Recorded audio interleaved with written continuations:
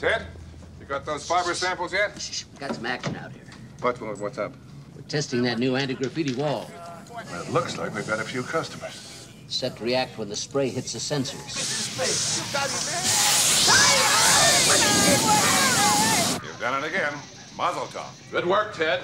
What will you lab boys think of next? Mm, now that you mention it, here's something we developed only yesterday. To the casual observer, an ordinary shoe. In actuality, makes quite a handy weapon. And everything a cop in the field would need. We call it the Swiss Army shoe. That's great, Ted.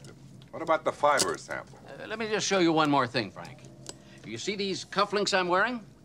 Well, they're not just cufflinks. Each one fires a single pin-sized dart that knocks out your victim for a few minutes, but does no permanent damage. Here, let me demonstrate on Ed.